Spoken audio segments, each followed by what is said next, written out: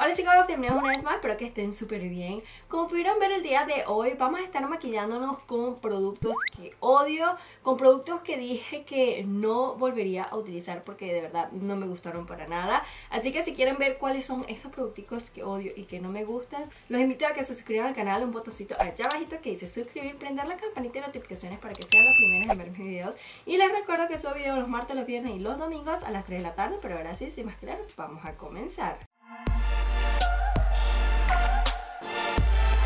Aquí al lado ya tengo todos mis productos preparados, así que vamos a empezar con nuestro primer. Y uno de los primer que la verdad no me gusta, que dejé de utilizar, es este que es Professional Matte Rescue. La razón de por qué no me gusta es porque este primer, no sé si es porque sea de gel, aunque no creo que porque sea de gel sea malo, pero como es un gel, tú te lo colocas y por alguna razón cuando te estás colocando otro producto, por lo menos la base encima de este primer, es como la goma de un borrador porque literal puedes estar tocando y le sale como eso que le sale al borrador cuando estás borrando. Por favor, en estos momentos no me recuerdo cómo se les dice a eso. Comenten ustedes ya abajito si saben a qué me refiero. Es como eso, entonces por eso este primer no me gusta para nada. Pero su primer, el professional, los primeros, eso sí me gustan bastante. Vamos ahorita a pasar a la base y chicos, esta base si ustedes me siguen desde hace tiempo y si vieron este video, ustedes saben que esta base es de no, no, no, no me gusta, la odio, ¿qué es esto? Es más, ni siquiera sé si funcione porque cuando la probé y la puse a prueba no funcionó. Es esta base de Revlon que es la Insta Filter. Chicos, Coméntenme ustedes abajito cuántos de ustedes vieron ese video cuando estuve haciendo la reseña de esta base. Como les digo, no sé si esto me vaya a salir porque hasta el día de hoy no he encontrado la manera de cómo hacer para que esto salga. La verdad, no lo he encontrado. Todo el mundo en ese videito me decía, Caro, es que lo estás haciendo al revés. No, chicos, no lo estuve haciendo al revés en ningún momento.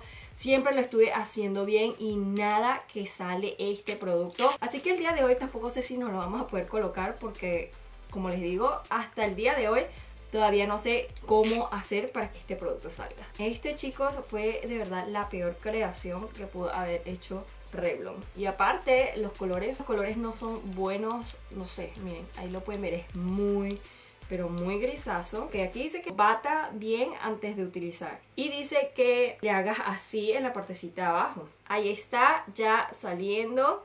Se me botó en la mano. Ok, creo que ahora sí está saliendo. No sé si era que tenía que batirlo. La verdad no lo sé. Ahí está. Ok. Ahora sí está saliendo este producto finalmente. Para difuminármelo, me lo voy a difuminar con una esponjita que al principio me gustaba y como que después la seguí utilizando y al final como que no me gustó tanto porque es que hay tantas esponjitas tan buenas que a veces tú dices que algo es bueno pero después tomas en cuenta de que en realidad no es tan bueno como las esponjitas que tú utilizabas antes. La esponjita que les presento que ya no me gusta es esta y creo que además nunca me la vieron utilizar luego de que hice también el video. Y esta es la esponjita de Junko que tiene como pelitos y eso. Entonces esta esponjita es la que vamos a estar utilizando el día de hoy. Como les decía pues la dejé de utilizar porque no le voy a decir que la odio totalmente porque no es que no la odio totalmente, pero siento que he probado esponjitas mejores, por lo menos las de LA Girl son buenísimas, las de Wet n Wild que valen 3 dólares son espectaculares,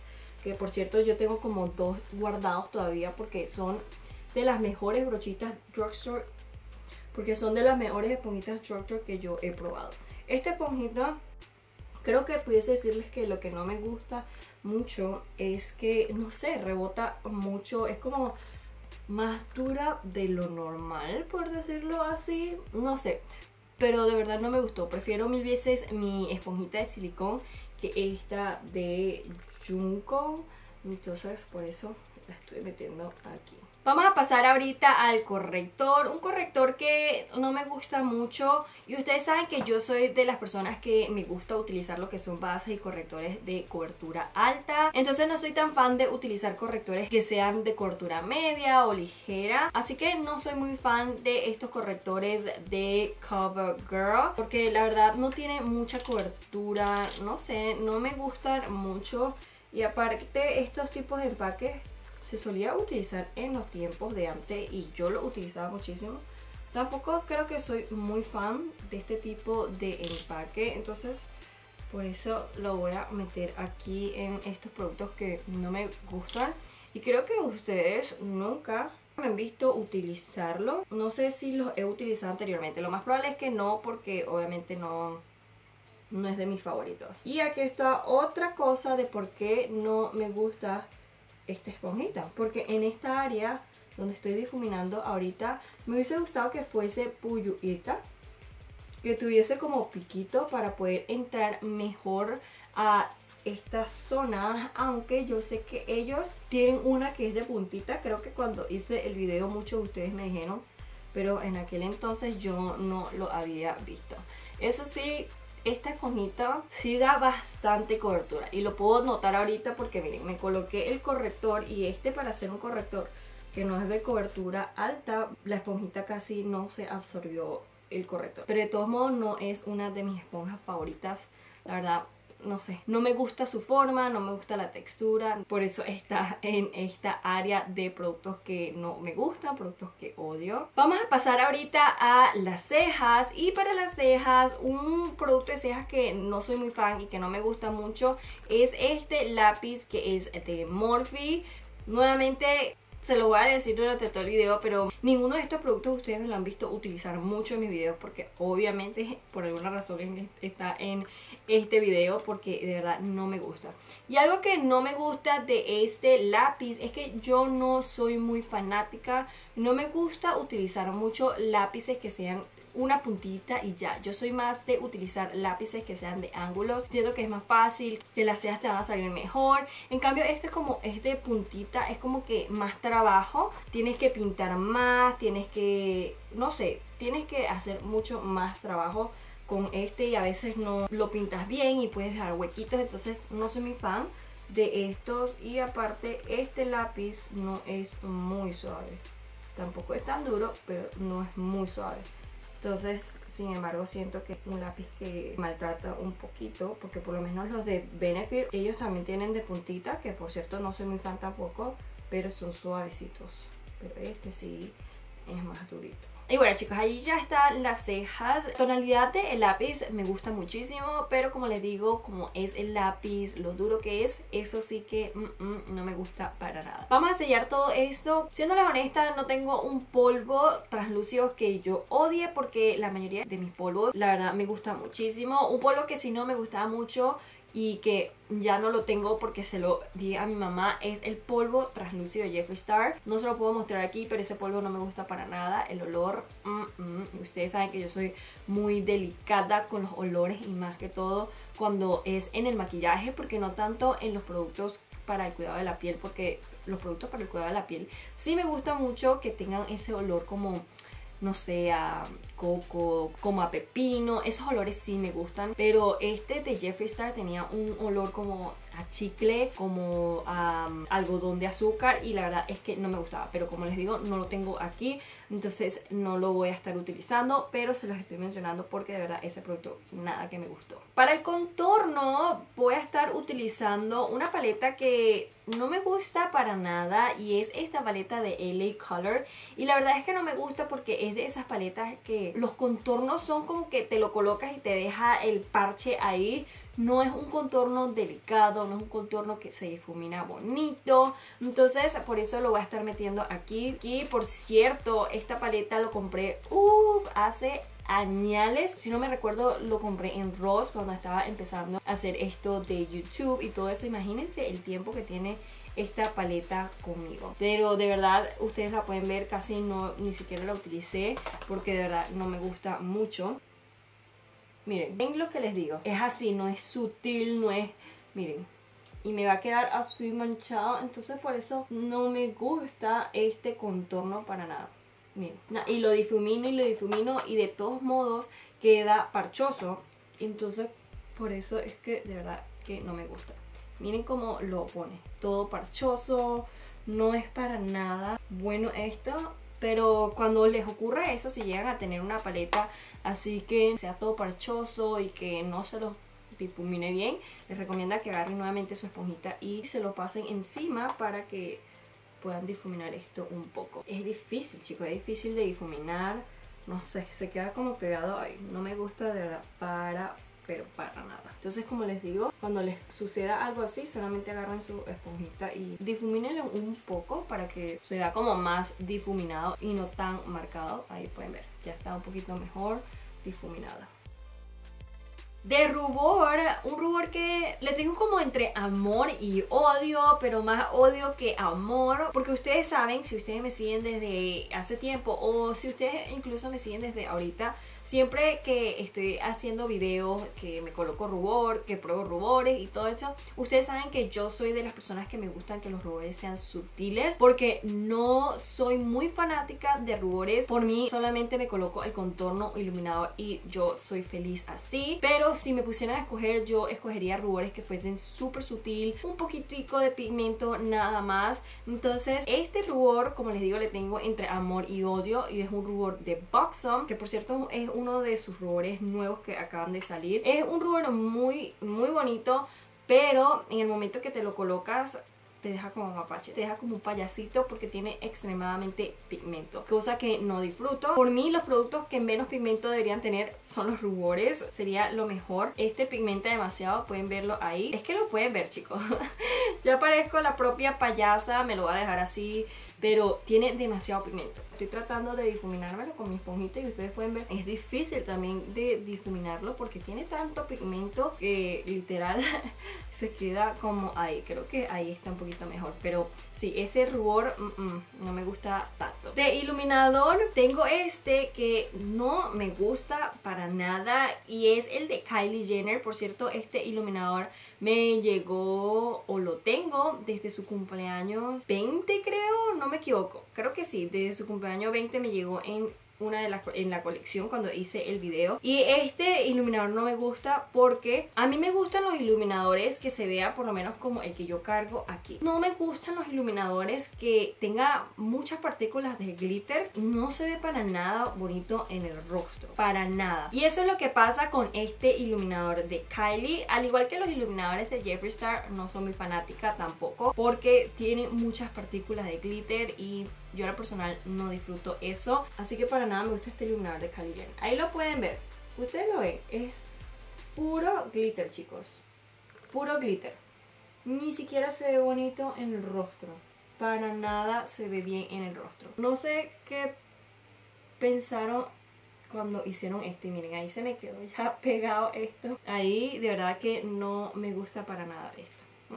Aquí con la cámara un poquito de cerca, no sé qué tanto lo puedan captar, a lo mejor y no mucho, más bien ustedes lo ven bien bonito. Esto lo utilizaría para efectos especiales o cosas así, pero como un iluminador, como ellos lo mencionan, no. Y ya que tenemos la cámara cerca, vamos a pasar ahorita a una paleta. Y una paleta que no me gusta para nada y fue una de mis primeras paletas de Urban Decay que yo me compré con mi dinerito cuando empecé a hacer esto en YouTube y lo compré en Ulta y lo compré fue porque estaba en especial, es este y lo tengo por esa razón, creo que es porque con este empecé a hacer los videos. Por eso es que todavía está aquí, porque si no ya no estuviese yo creo. Es esta paleta que es de Urban Decay, que es el Smoke. Me encanta el forrito como es, porque no sé, es totalmente diferente a otros.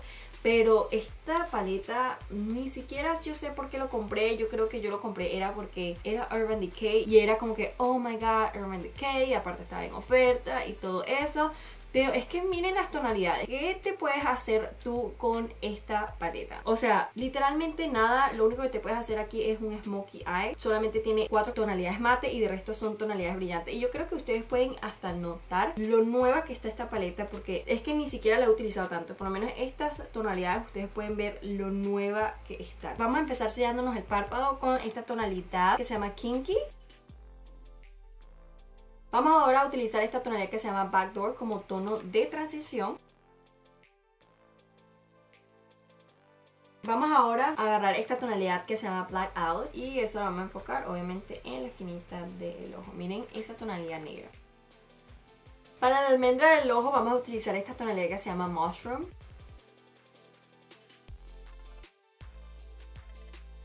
Esta tonalidad negra también la voy a colocar en la partecita abajo de los ojos. Bueno, así me voy a dejar este look porque ya no tenemos otras tonalidades con las que podamos jugar. No tengo para iluminarme el arco de las cejas o iluminarme el lagrimal, entonces me lo voy a dejar así. Me quería hacer un delineado de ojo, pero creo que ya sería demasiado negro para hacerme un delineado de ojos. No sé qué piensen, pero quería presentarle este delineador que la verdad no me gusta para nada. Y es este de Revlon que es el delineador que viene con esta brochita como un corta pizza. La verdad no me gusta chicos, yo siento que esto es muy pero muy difícil de utilizar, muy difícil de trabajar, que no sé, o sea, no sé a qué persona se le ocurrió en la cabeza crear este producto, pensando que iba a ser más fácil, como que a la vez lo puedo entender porque la persona pensó, ah, esto puede ir así, rápido, recto, sin moverte para ningún lado, pero no, eso es imposible, o sea, no, eso ni siquiera pasa con las pizzas porque a veces uno corta la pizza toda chueca ahí. Vamos a hacernos un delineado para que no se vean cuando coloquemos las pestañas y para que obviamente ustedes puedan ver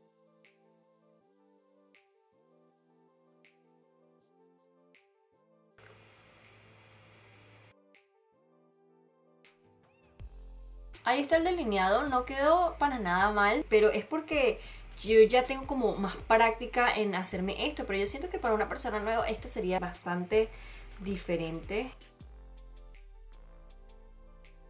Vamos a pasar a colocarnos las pestañas y unas pestañas que me llegó pero hace tiempo y que nunca he utilizado pero creo que ninguna. O creo que sí utilicé una pero en aquel entonces yo no tenía la cirugía entonces como que no me gustaba mucho. Es estas de Morphe. No me llaman la atención y esas que son pestañas que son dramáticas pero como que las formas no son muy bonitas. La memoria que tengo de cómo me quedaba aquella, la verdad no me gustaba mucho cómo se me veía el ojo. A pesar de que yo tengo ahorita mi cirugía, no quiere decir que todas las pestañas me queden. No.